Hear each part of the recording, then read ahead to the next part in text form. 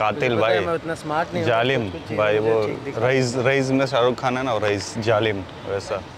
जालिम अम्मी जान कहती थी। अम्मी जान कहती थी।